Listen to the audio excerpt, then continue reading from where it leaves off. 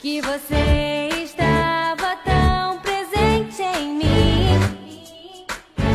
Agora quero te abraçar contente, te contar histórias diferentes.